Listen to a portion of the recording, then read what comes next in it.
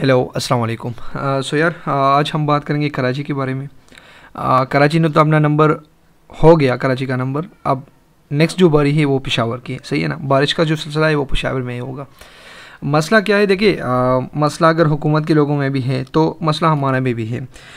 आ, हम कोई चीज़ मांगते ही नहीं. हाँ हुकूमत से हम कोई डिमांड की ही नहीं है. हम अपने मसलों में हम आ, सोशल मीडिया को जब आप देखेंगे ना तो एक दूसरे के पीछे बात ही होती है कोई ऐसा इशू को नहीं उठाया जाता जिसमें आप, आपको ये पता चले कि हाँ इससे मतलब आप ऐसे इशू को क्यों नहीं उठाते जिससे मुल्क में आवाम को कोई ना कोई रिलीफ मिल जाए, कोई ना कोई आसानियाँ मिल जाए, कोई ना कोई कुछ ना कुछ मिल जाए।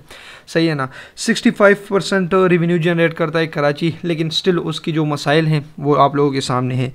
आ जाते अब बीआरटी पे। देखिए बीआरटी पे कितना कॉस्ट लग गया, आप ख़ुद अंदाज़ा लगा सकते करोड़ों की कॉस्ट उस पर लग गई है, लेकिन दो दिन पहले, तीन दिन पे थोड़ी सी बारिश की वजह से थोड़ी सी बारिश की वजह से उनकी छतों से बीआरटी की जितनी भी छतें हैं वहाँ से पानी आ रहा है। तो ये मसले है। देखिए इनकी अब आ, कोई आवाज़ उठाने वाला नहीं है। अब देखिए बहुत से लोग कहते हैं कि आप नेगेटिविटी को इम्प्रूव करते आप नेगेटिव चीज़ दिखाते हैं पॉजिटिव नहीं। तो मैं आपको ये बता दूँ कि कुछ दिन पहले मैं एक व्लॉग बना रहा था बीआरटी के अंदर। तो मैं उधर था तो जैसे ही मैं अपने कार्ड को आ, मैं बना रहा था कार्ड तो मैंने पैसे इंसर्ट कर दी तो उसके बाद मशीन डायरेक्ट हैंग हो गया। अब मशीन, नया मशीन है, कुछ दिन हो गए, आपने इसको लगाया है, लेकिन वो काम क्यों नहीं करता, सवाल ये है। मैंने वीडियो बना ली, लेकिन मैंने उस वीडियो को पब्लिश नहीं किया। क्यों? उसकी असल वजह यह है कि हम निगेटिविटी को को फ़रोग नहीं देना चाहते नेगेटिविटी को लोगों को ठिकाना नहीं चाहते। हम चाहते हैं कि यार, थोड़ा देर वेट कर लेंगे, देख लेंगे कि आज नहीं तो कल ठीक हो जाएगा। लेकिन नहीं आ, आ, मेरे ख्याल से बीआरटी को जब मैंने थोड़ा बहुत रिसर्च किया और मैंने थोड़ा बहुत देख लिया तो देखिए कुछ दिन पहले उसमें आग लग गई। अब आग लगने की वजह क्या थी? कोई रिज़ल्ट सामने आई नहीं आया। कोई वजह सामने नहीं आई कि किस वजह से आग लग गई। कुछ दिन पहले बी का जो बस था ये दो असल में दो बसों को ज्वाइन करके एक बस बनाया जाता है। वो बस टूट गया है। अब टूटने की वजह भी कोई सामने नहीं कोई रिपोर्ट नहीं आया हुकूमत की तरफ़ से, लोगों की तरफ़ से कि क्या मसला था, किस वजह से ये टूट गया है। सही है ना? तो कराची तो निकल गया। बारिशों के जो सिलसिले थे, जितनी पानी थी, डीएचए को देख ले, डीएचए कितना अच्छा मतलब बहुत अच्छे इन चीज़ों पे वो बहुत ज़्यादा फोकस करती है, लेकिन स्टिल वहाँ पे ये मसले हैं। तो पेशावर को अगर आप देखेंगे तो पिशावर और कराची का कंपैरिजन करें तो सबसे ज़्यादा रेवेन्यू भी कराची ही जनरेट करता है। आ, लेकिन आ, मसले अगेन वही सेम सबके मसले सेम है। कुछ चीज़ें हम मांगते नहीं और कुछ हुकूमत देती नहीं। देखिए जब आप कोई चीज़ मांगोगे नहीं तो हुकूमत कैसे वो आपको प्रोवाइड करेंगे। कोशिश करनी चाहिए कि हुकूमत से चीज़ों को मांगा जाए। अब एक चीज़ की अगर आपको ज़रूरत है तो आप अगर जब तक हुकूमत के लोगों के पास नहीं जाएँगे आप वहाँ पर दरख्वास्त नहीं देंगे कि यार मुझे ये चीज़ चाहिए तो उनको कैसे पता चलेगा कि हाँ इस इस शख्स को इसकी ज़रूरत है? आ, लेकिन हम भी बस देखो आज मुसीबत आ गई कल को लोग बोल जाते हैं हमारा मसला ये भी है। सोशल मीडिया पे देखिए फ़जूल चीज़ें ट्रेंडिंग में चल रही थी फ़जूल चीज़ें मसले हैं फ़जूल चीज़ें जो है कुछ जिसका लोगों को कोई फ़ायदा नहीं हो रहा वो चीज़ें चल रही है। लेकिन जो असल मकसद है जो असल मसले हैं उनकी तरफ़ कोई देखता भी नहीं। तो इन चीज़ों पर फोकस करना चाहिए। सोशल मीडिया के खास कर जितने भी यूट्यूबर्स है जितने भी पेज वर्कर्स है फेसबुक पे कर रहे हैं तो उन चीज़ों को हाईलाइट करने चाहिए कि हाँ हमारे यही मसले हैं इनको सॉल्व करें। अदरवाइज़ अगर आप सॉल्व नहीं कर देंगे तो नेक्स्ट टाइम जब आप वोट मांगे आओगे तो हम आपको वोट नहीं देंगे। लेकिन हम आ, हम भी बहुत बेवकूफ़ है जी। आ, एक रोड बना कर ना छोटी सी रोड बनाकर आपसे वोट ले लेते हैं, पाँच साल के लिए वो मुंतब हो जाते हैं, जितने भी वक्त के लिए मुंतहब हो जाते हैं। लेकिन फिर आपको याद भी नहीं रहता, आपको कोई याद नहीं रखेगा, कोई आएगा नहीं। देखिए, अपने M N as M P S को उठाना चाहिए कि सर, आज जब जब आप वोट के लिए आए थे तो हमने आपको वोट दिया, इज़्ज़त दी।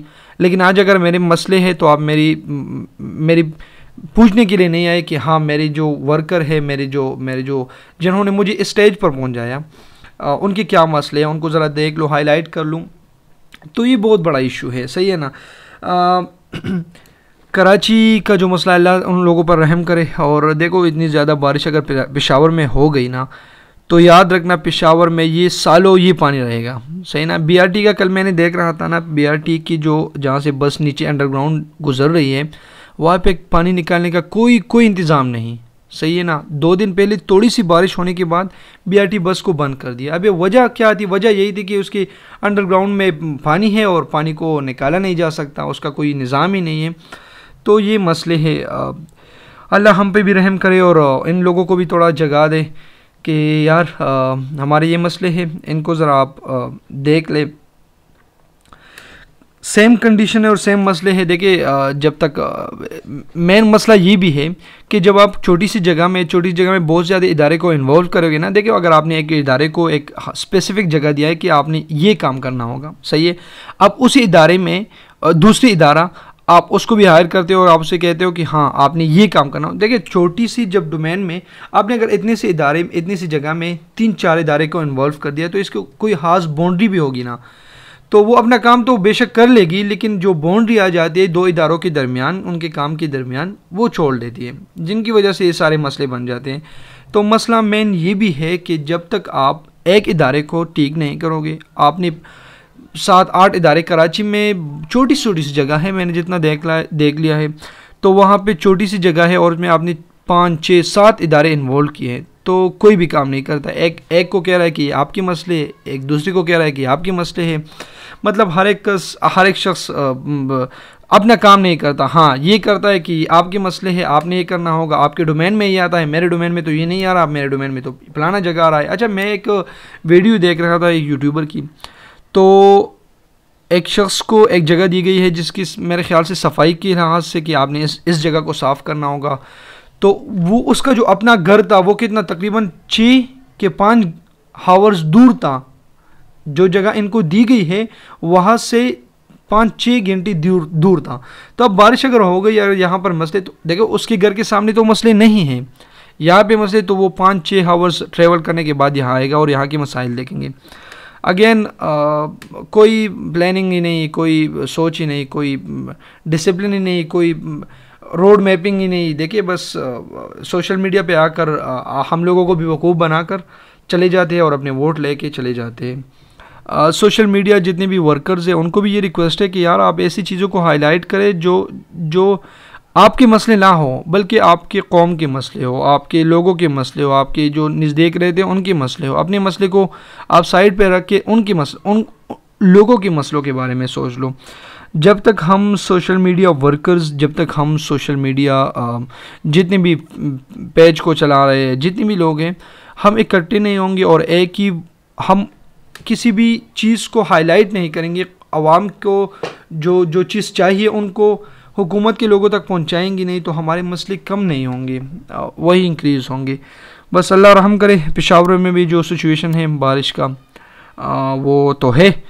आ, दो दिन हो गए, हल्की सी बारिश अगर बारिश थोड़ी भी ज़्यादा हो गई तो पेशावर का हाल कराची से बदतर होगा।